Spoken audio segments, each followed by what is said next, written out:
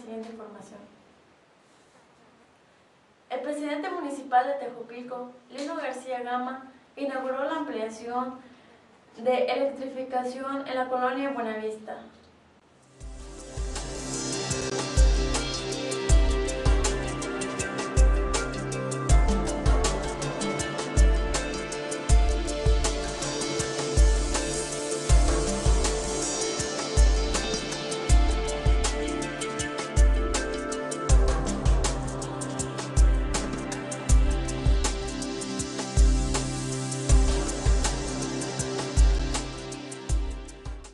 El calor de cada uno de los que nos representan en este ayuntamiento, eh, quienes en cada momento, en medio de las grandes necesidades en las cuales nos hemos acercado, siempre nos han abierto las puertas y siempre hemos tenido la mejor atención de cada uno de los miembros que componen este, esta presidencia municipal.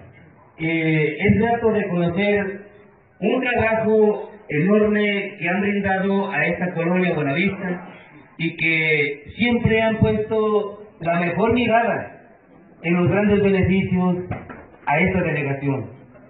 Eh, siempre vamos a estar agradecidos, señor presidente, con usted, porque desde el momento en que usted emprende un trabajo, siempre nos ha mirado como gente de necesidad, gente que siempre hemos estado eh, en espera de esos grandes beneficios para esta comunidad.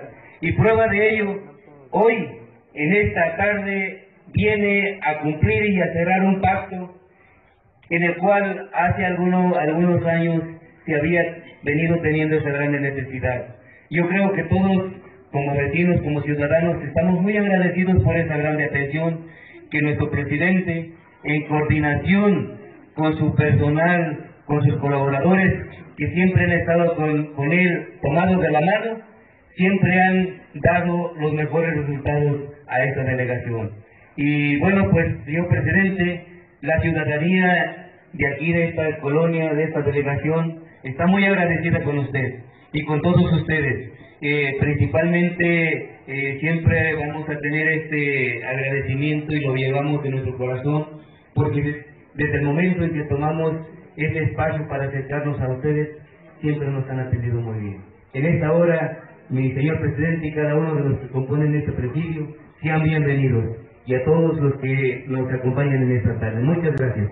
Que ha hecho nuestro presidente municipal por las diferentes obras que ha realizado. Pero hoy nos sentimos de verdad muy contentos por este trabajo del gran equipo con el que usted cuenta, regidor. Muchísimas gracias y quiero reconocer ese gran trabajo. Hoy, vecinos de la colonia Buenavista, me toca agradecer por esta gran obra de la ampliación de electrificación en nuestra colonia, que beneficia a más de 40 familias de esta colonia. Y esto repercute, créanmelo, en el bolsillo de cada uno de nosotros, porque si era un gasto de la luz, porque la traíamos de, muy lejos y esto incrementa el costo de la luz. Reconocerle, ¿verdad? Y agradecerle por esta gran obra. Para no alargar mucho, quiero nuevamente agradecer e invitarlos a que sigan trabajando e invitarlos a que cubran cada una de las necesidades de nuestro municipio. Desde Comisión Federal de Electricidad ya ha extendido ese oficio para que todos los hogares beneficiarios puedan acudir y hacer su vacancia. Decirles, compañeras y compañeros de aquí de esta colonia, a nombre de mis compañeros del Cabildo, que no están solos, sientan esa confianza con nosotros. Aquí está el resultado de este esfuerzo en esta obra, de ese esfuerzo conjunto, y que sea para bien de todos y todos ustedes. Para esos pequeños que le echen ganas de estudiar, porque ellos ya van a tener mejor iluminación para todos los jóvenes, para toda la sociedad general de aquí, de esta colonia. Felicidades y enhorabuena. A la de tres. Una, dos, tres. ¡Bravo!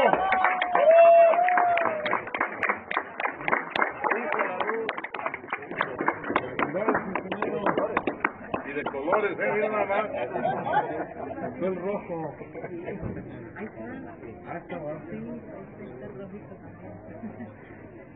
Muy bien.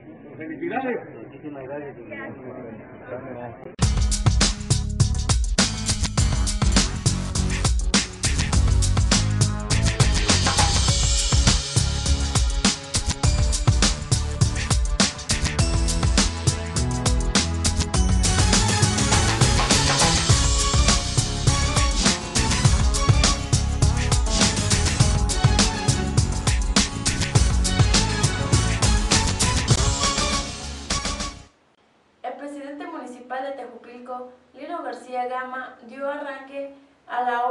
en la Escuela Preparatoria Oficial número 17 de Bejucos, México.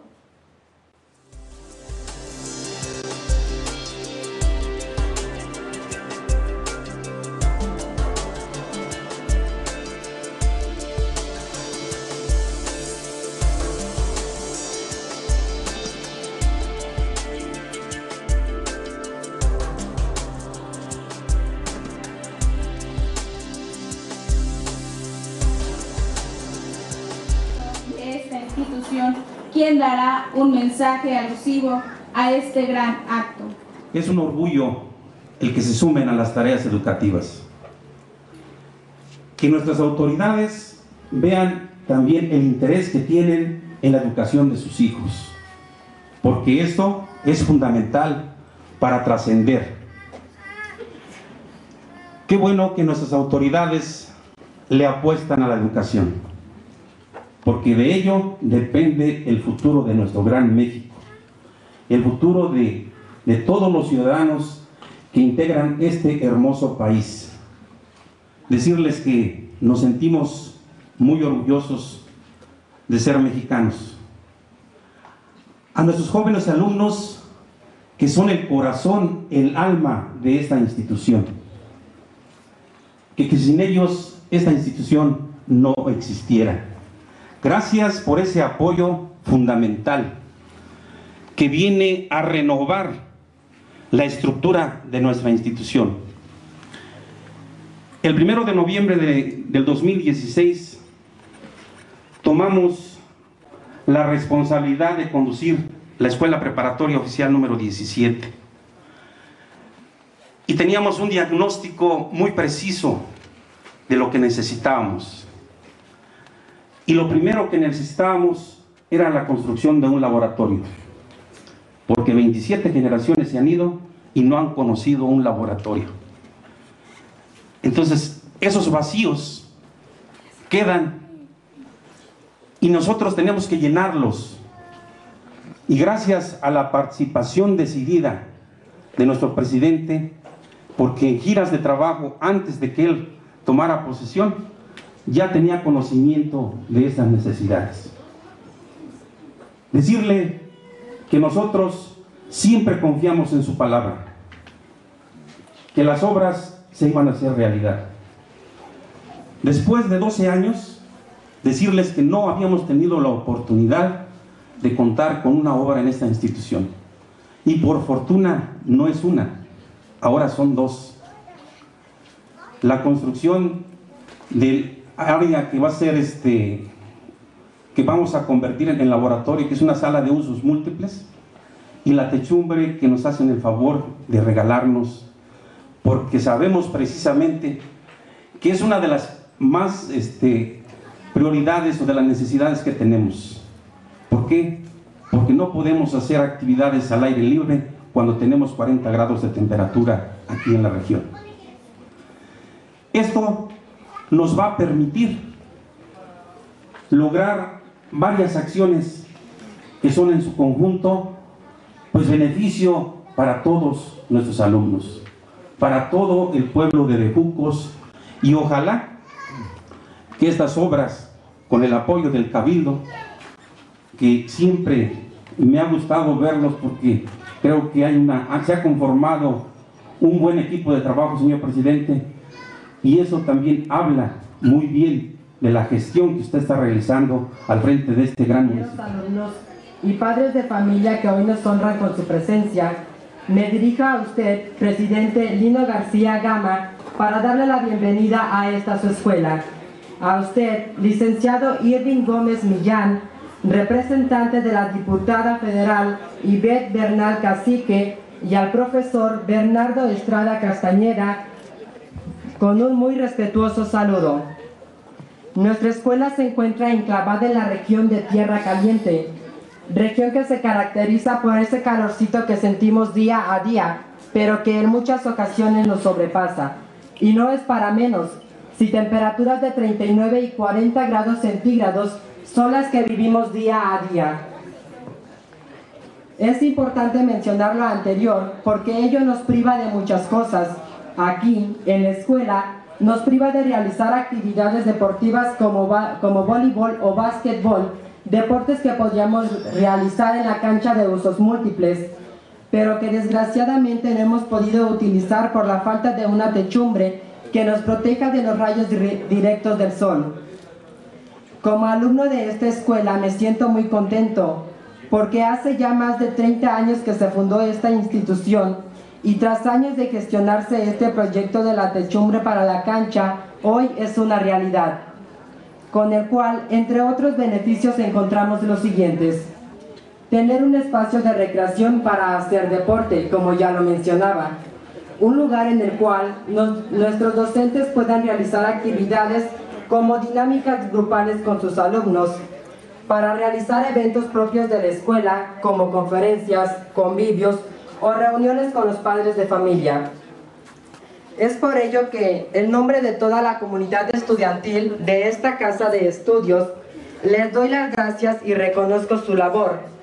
Sabemos que muchas son las necesidades que les presentan habitantes de otras comunidades, pero nuestra escuela tiene muchas carencias y verdaderamente como institución estamos muy satisfechos porque nos hayan escuchado y resuelto un problema. Quiero agradecer los comentarios de Homero.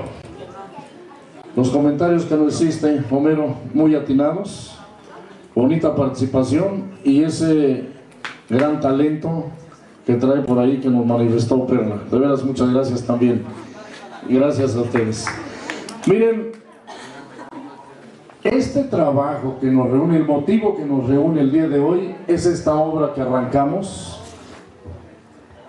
el día de hoy, esta techumbre.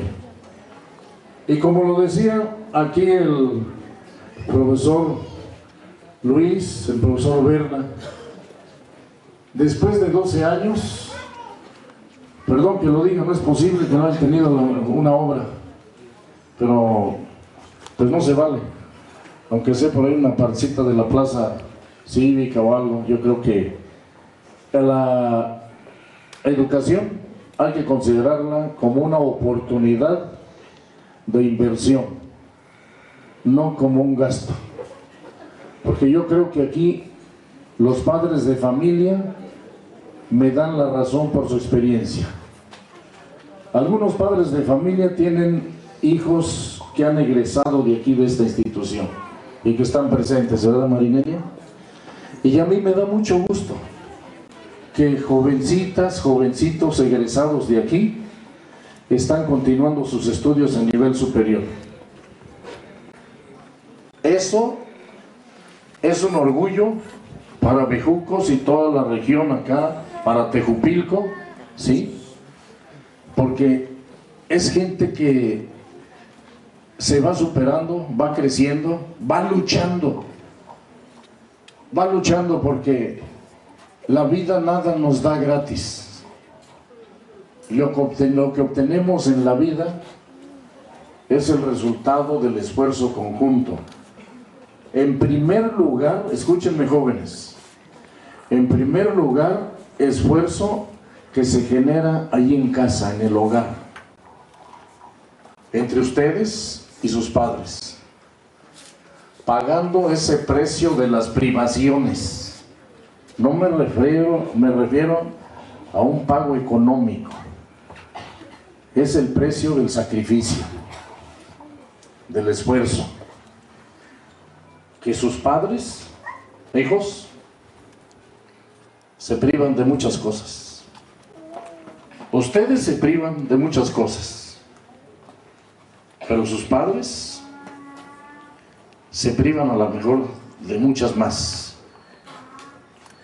Y es una lucha constante, interna, acá en el corazón y en la mente, de uno como padre de familia. Y se los digo porque soy padre de familia. Bien, pues, a la de tres, a la de tres, bajamos la banderita. Una, dos, tres. ¡Bravo! Vamos, otra, otra, otra. Viene la primera. Una, dos, tres. ¡Bravo! Muy bien.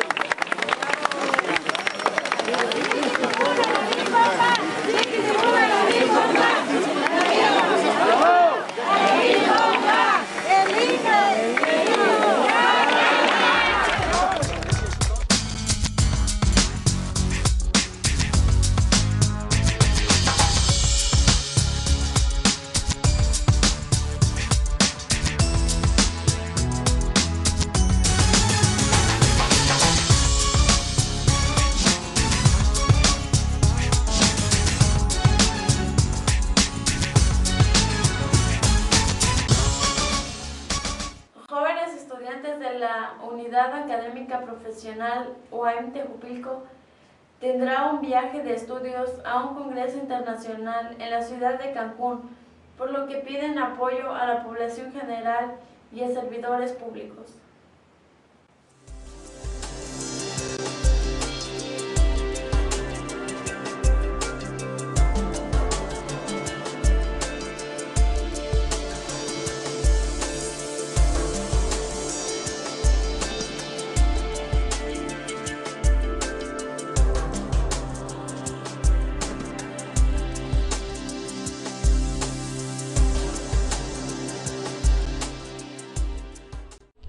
Oye Gustavo, tenemos entendido que ustedes como jóvenes universitarios aquí del, de la Unidad Académica Profesional de la UAM, aquí en Tejupilco, tienen a- este, programado algunas actividades muy importantes. ¿Nos puedes comentar? Es decir, Alex, este, por ahí tenemos un congreso internacional en la ciudad de Cancún en los primeros días del mes de noviembre. Por ahí este, con el profesor Miguel Ángel Benítez hemos estado organizando este, la participación en dicho congreso y para lo cual este, estamos buscando la manera de solventar el costo del viaje que está alrededor de 4.200 pesos. Ujú. ¿Cuáles son las actividades que van a tener dentro de este congreso? pues eh, vamos a este, participar en las conferencias que va a haber ahí en el, en el hotel, ahí en Cancún. Va a haber varias conferencias de, acerca de contabilidad y administración. Vamos a estar este, participando en cada una de ellas y, este, y a lo mejor después recrearnos un poco de en lo- conociendo un poco más este, la ciudad. Este, También vamos a, a participar en talleres en los cuales se nos van a brindar constancias donde nos este, den lealtad de que tomamos esos cursos. ¿Pero ustedes consideran que es muy importante ir a participar a esos este, congresos? ¿Ustedes como estudiantes? Creo pues que es muy importante, más que nada para conocer, este, no sé, es una nueva experiencia para nosotros, saber más del tema, este, pues, desarrollarnos ¿no? como estudiantes y pues ir creciendo tanto profesionalmente como académicamente. como académicamente. Y me están comentando que están organizando algunas actividades para recabar este fondos, como cuáles. Pues estamos buscando patrocinadores para que nos apoyen con el, con el viaje con recursos económicos. Hemos este, eh, mandado documentos a, a funcionarios, al presidente municipal para gestionar este, recursos económicos. ¿Ustedes de, de qué carrera son? De administración. Administración de primer año, ¿no? Primer semestre. primer semestre. Así como mencionaba mi compañera, este, ahora sí que estamos haciendo unas peticiones a nuestras autoridades, tanto como el ingeniero Lino y nuestro diputado Anthony, para que nos apoyen con algo para ir a este congreso. Por ejemplo, gente que quiera participar este, con ustedes, dándoles algún tipo de, de apoyo, ¿a dónde se pueden comunicar con ustedes? Pues aquí con nosotros, aquí en la escuela, este, ubicados en el salón de primer semestre de administración. Estamos todos los días a partir de las 7. Si alguien gusta pues apoyarnos con algo, pues con todo gusto. Al- eh, ¿Este congreso este, cuándo va a ser? Va a ser a partir del día 7 de noviembre en adelante. Del 8 de noviembre. El 8 de El 8 de noviembre. noviembre a 10. 10 aproximadamente. Por lo que vamos a estar, creo, tres días, cuatro noches, ¿no? Ya, Sí, salimos de aquí el cuatro 7. noches, cinco días. El 8 a las 8 de la mañana. 8. ¿Algo más que quisieran comentar? Pues nada, que es importante este, que las escuelas de, de nuestro municipio estén dándole la importancia que salgamos a conocer un poco este, más este, el ámbito social de nuestro país, que conozcamos las diferentes culturas y pues, asimismo que reconocerle a la, a el apoyo también este, de nuestro director, del, del doctor Daniel, quienes nos han apoyado en, en varias cuestiones, por ejemplo en la gestión del transporte con la con la universidad que nos van a apoyar con eso.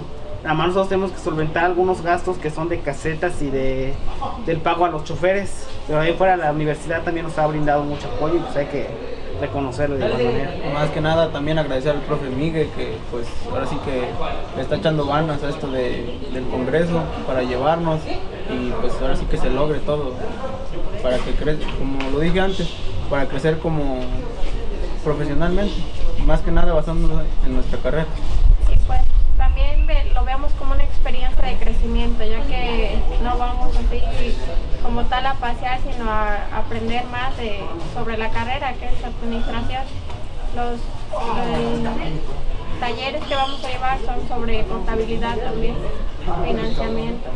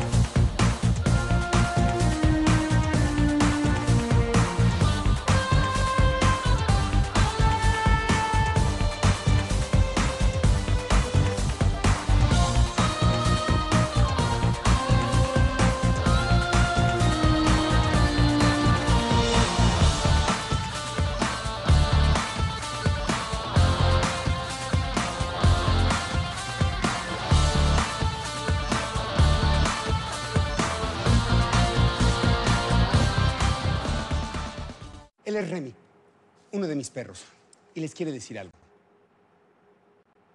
Bueno, quiere pero no puede. Así es que se los digo yo. Hay gente que abusa y es violenta con los animales. Los maltratan, torturan y a veces los matan de las formas más crueles. Maltratar animales en el Estado de México ya es delito. Si ves a alguien haciéndolo, denúncialo para que lo metan a la cárcel. Recuerda, si no hay denuncia, no hay castigo. Gente que trabaja y logra en grande. Estado de El 90% de los casos de cáncer de mama y cervicouterino son curables si se detectan a tiempo. En las clínicas unidades móviles del Estado de México, el examen es sin costo y en los casos detectados, el tratamiento es gratuito. Llama al 01800 249 9000 y programa tu cita. Estado de México. Hola, soy Eugenio. Y sí, soy un dibujo hecho con palitos y bolitas. ¿Por qué? Fácil. Te quiero explicar lo siguiente con palitos y bolitas. Si tienes un perro y lo tienes encerrado, no eres su amigo responsable. Si lo paseas, sí lo eres. Sin correa, no lo eres. Con correa, sí, sí lo eres. Si estás en la calle y no lo recoges, no lo eres. Si recoges, sí lo eres. Ya sabes, si tienes un animal de compañía, Esterilízanos y sé un amigo responsable. sé su amigo responsable. Estado de México. En el 911 te darán auxilio en situaciones de emergencias, médicas, de seguridad, pro- protección civil y dará atención especial a mujeres en caso de violencia. Recuérdalo, úsalo, cuida. Hola, soy Eugenio Derbez. No, hoy no te voy a hacer chistes ni te voy a hacer reír. Solo quiero decirte que hoy, en el Estado de México, maltratar animales es un delito castigado con cárcel. Y debemos denunciar a quien lo haga. Estudios internacionales demuestran que cualquier persona que es violenta con un animal, tarde o temprano lo será con una persona. Erradiquemos la violencia, en cualquiera de sus formas. Gente que trabaja y logra en grande. Estado de México. Ver bien es vital para niños, jóvenes y adultos. En el Hospital Mexiquense de la Salud Visual se tratan gratuitamente padecimientos como miopía, astigmatismo, cataratas y glaucoma, entre otros. Cuida tu vista. Llama al 01800 249 9000 y programa tu cita. Estado de México.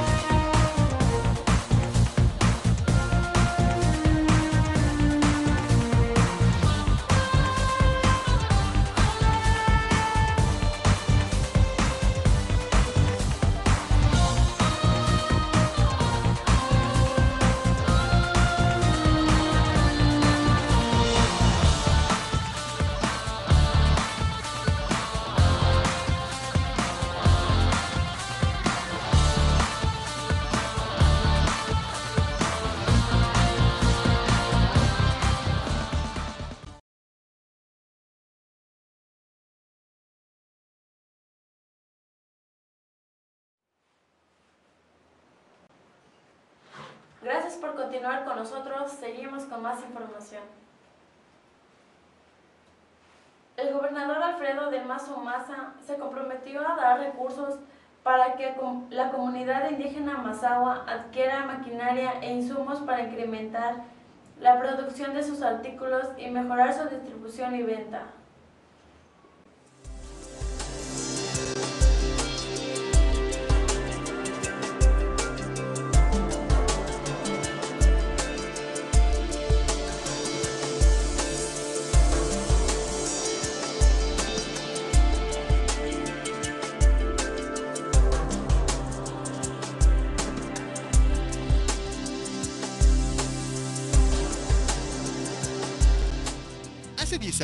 Belén, representante de la comunidad Mazagua, vendía sus productos en el mercado y quería expandir su negocio de producción de granola.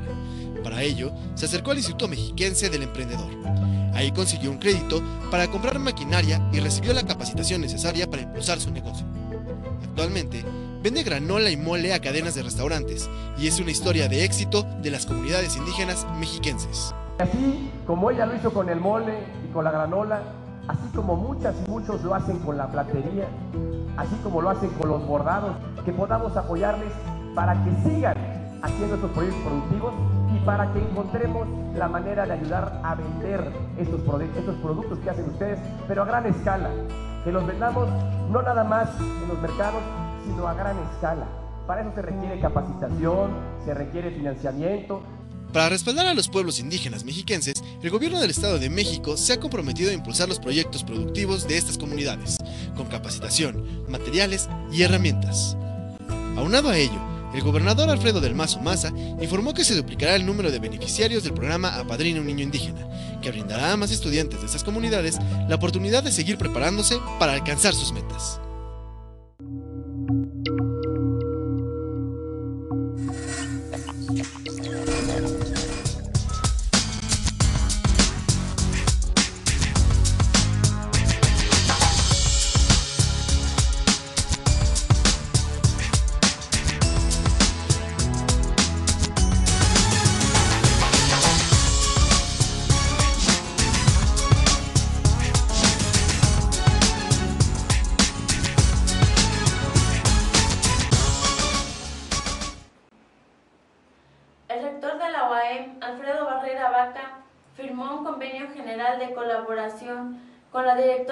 Del Instituto Nacional de Investigaciones Nucleares, INIM, Lidia Concepción Paredes Gutiérrez.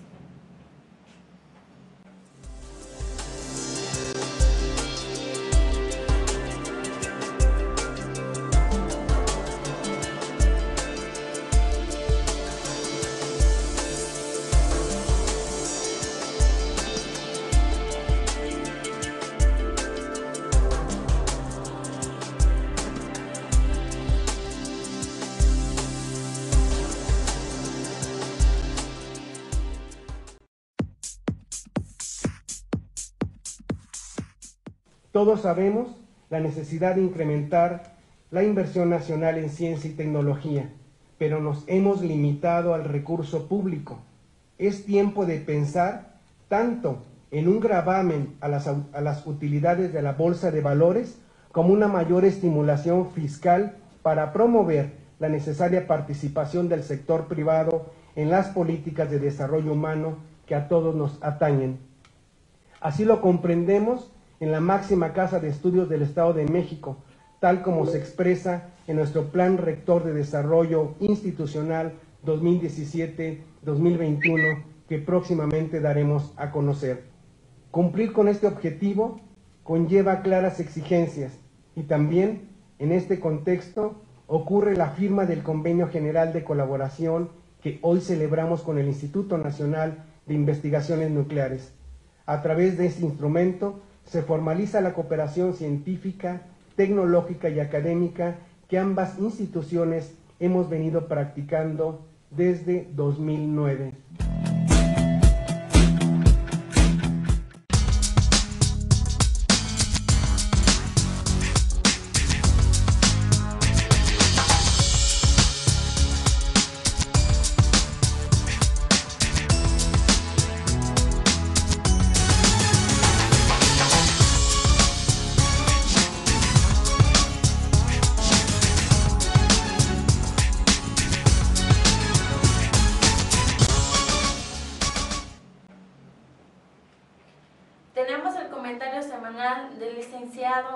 Macedo Macedo.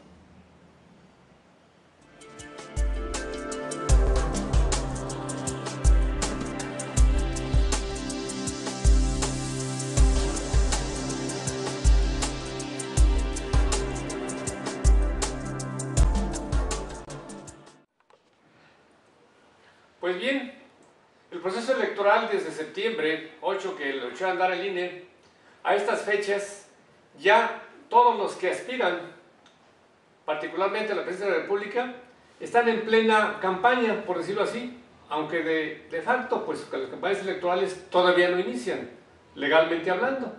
Sin embargo, los ataques en los medios de comunicación, en las redes sociales, están a la orden del día.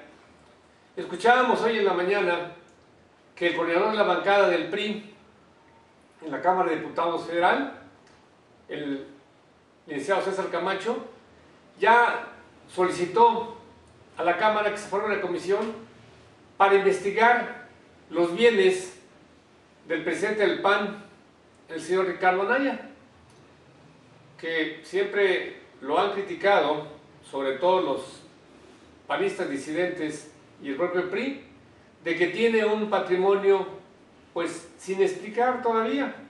Sin embargo, él contestó de inmediato que encantado, que sería un honor que lo llamaran la Cámara, pero que fuera el debate público.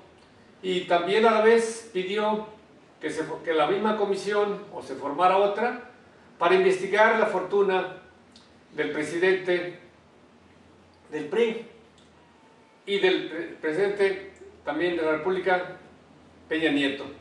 Y esta guerra de declaraciones pues ha creado una serie de situaciones ahí. Los analistas, los columnistas, los periodistas y mucha gente ha opinado sobre todo que es una guerra de lodo entre los partidos en que más que proponer y demás, pues tratan de a base de denuncias, a base de, infundios, dicen ellos, a base de acusaciones, tratan de, de menguar la imagen del otro candidato.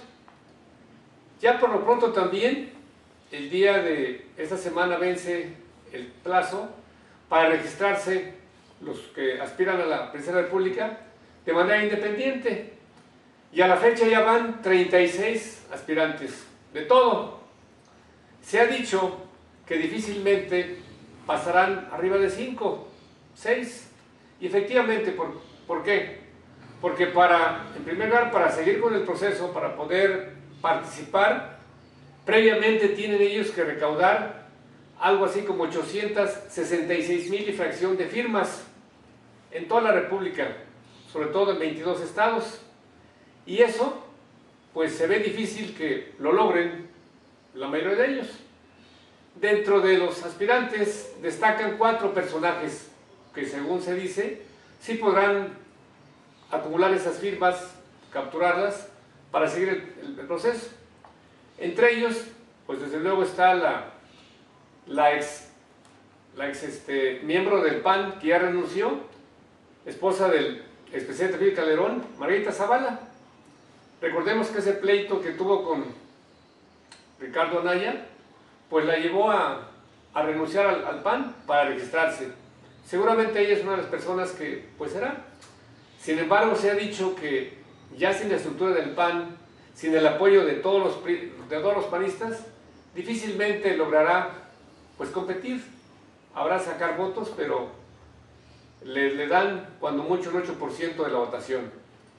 Otro personaje también que se apuntó y que un exlocutor, es, una, es periodista, es el, señor Pedro Ferriz, que casi toda su vida se dedicó al, al, periodismo y hace años renunció para dedicarse a la política.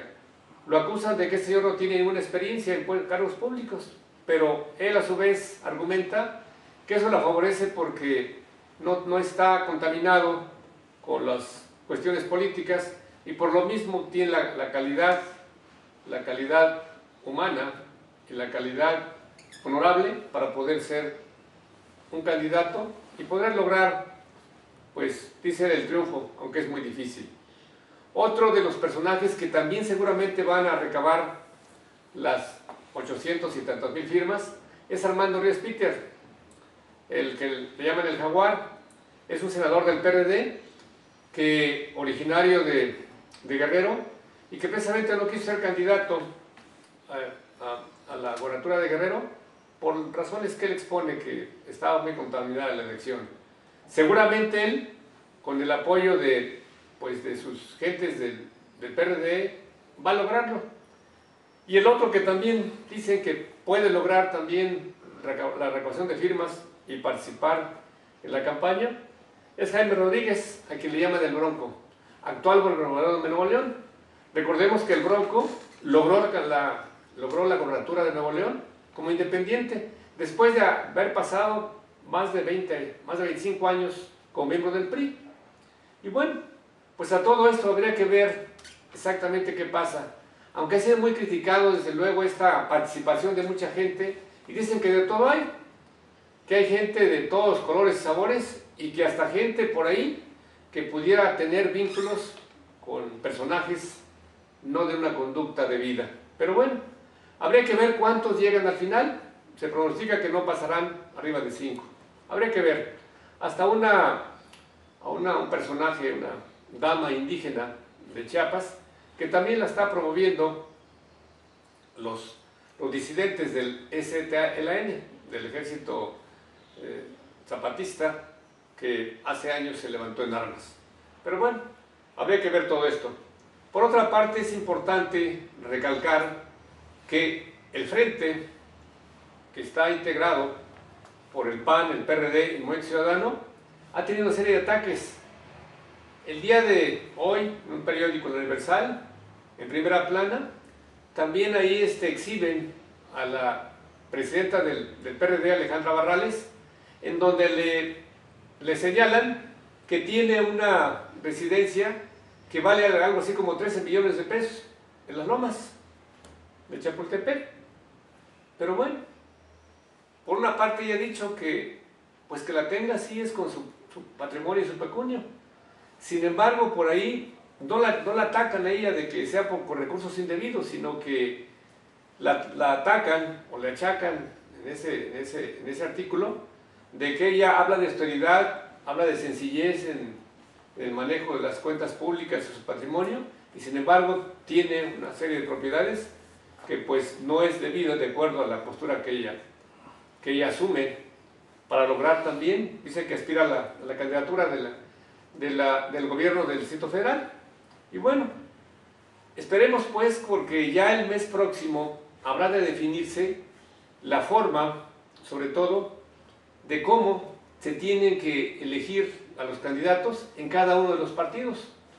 Y habría que ver, por lo pronto, el PRI, ayer y antier tuvo su, su convención nacional y no han definido todavía el método. Sin embargo, por ahí se dice, de acuerdo a las comparecencias que ha tenido el secretario Mit de Hacienda, de que es uno de los más abocados, junto con, con, el, con el doctor Nuño, el secretario de Educación Pública.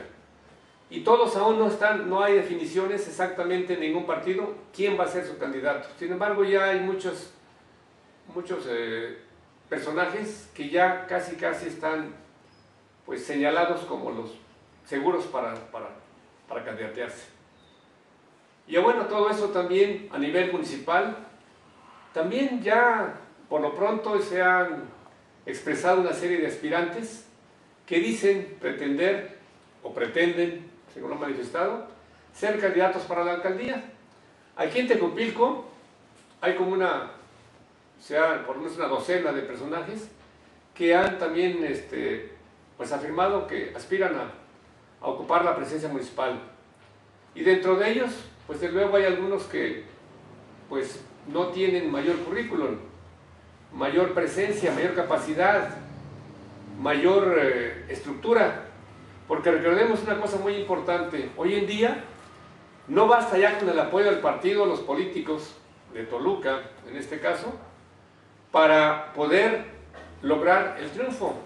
La competencia en Tecupilco, en el sur y en todo el estado y la república ya es real. Ya los demás partidos, como es el PAN, como es el PRD y como es Morena, ya compiten. Ya quien, a quien designa como candidato tiene necesariamente que tratar de demostrar una serie de situaciones, sobre todo particularmente el arraigo que tenga con la gente, el conocimiento, el currículo que tenga en su vida política, para saber exactamente qué tipo de persona, qué piensa, cómo se ha comportado. Porque a la hora de, que ya asumen ya una candidatura, les empiezan a salir los pros y los contras. Y hay muchos personajes de Tepelco y demás que en la vida pública que han tenido, pues ha habido ciertas situaciones que no, no han sido muy transparentes. Y sobre todo, algo que es fundamental ahora para ser, sobre todo en el PRI, para ser un candidato que tenga viabilidad para lograr el triunfo. Se requiere básicamente un trabajo partidista en cada una de las comunidades, tener una estructura, porque quien llega a ocupar una candidatura para la alcaldía tiene necesariamente que contar con una serie de líderes, no solamente los líderes importantes que de alguna forma lo apoyen, porque lo primero que hace el PRI es tratar de que quien es propuesto o ungido, que consense con las demás expresiones políticas. Y aquí, pues recordemos que ya hace muchos años, desde el 90 para acá, las cosas han cambiado. De alguna forma el caciquismo político que se ejerció en su tiempo, ya ahora las expresiones políticas, pues ya participan. Ya no basta con tener el aval del partido ni de los políticos, ni del propio gobernador del estado. Hoy en día quien pretenda, insisto, llegar primero a la candidatura y después lograr el triunfo, tendrá necesariamente que tener estructura. ¿A qué servir la estructura? Que tiene que tener liderazgo en cada una de las comunidades, líderes que lo apoyen y que también sean líderes en cada una de las comunidades. Y de los que vemos que aspiran, pues yo creo que no pasan más de tres que pudieran tener posibilidades bajo esa, bajo esa situación, bajo esa tesitura. Aunque los demás, desde luego, muchos de ellos van pues a, buscar chamba.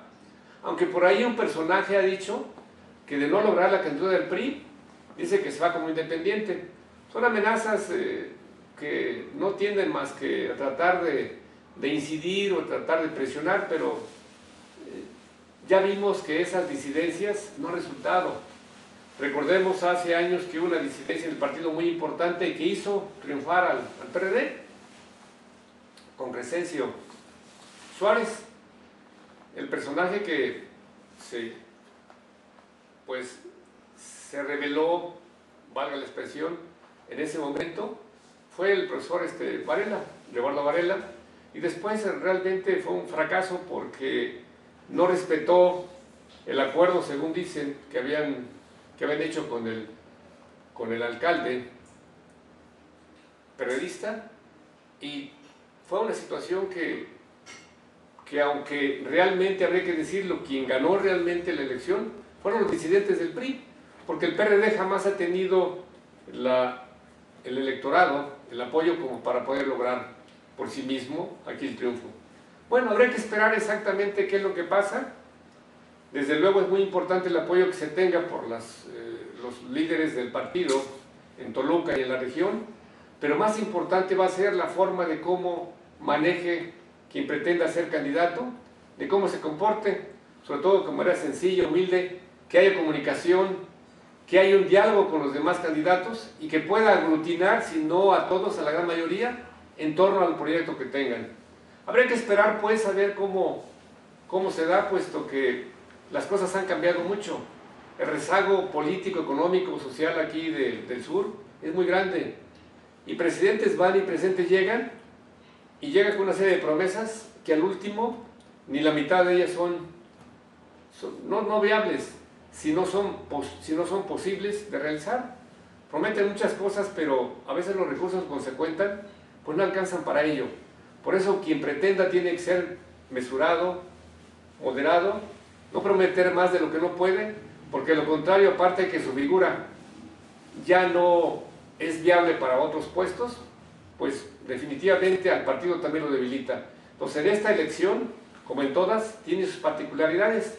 Habría que ver pues que quienes levantan la mano y quienes realmente garantizan el triunfo, en este caso los priistas del PRI, porque recordemos que aquí también ya seguramente el PRD, que eh, tiene estructura, aunque Morena no la tiene, pues van a ser, van a ser los partidos y los candidatos a vencer por parte del PRI aunque en Tejupilco todavía la estructura está cohesionada y no ha habido hasta ahorita una disidencia mayor que haga tener una, importante pues, elección y sobre todo un triunfo para el PRI. Pero en política, como en muchas cosas, nada se sabe y todo está ahorita pues al aire.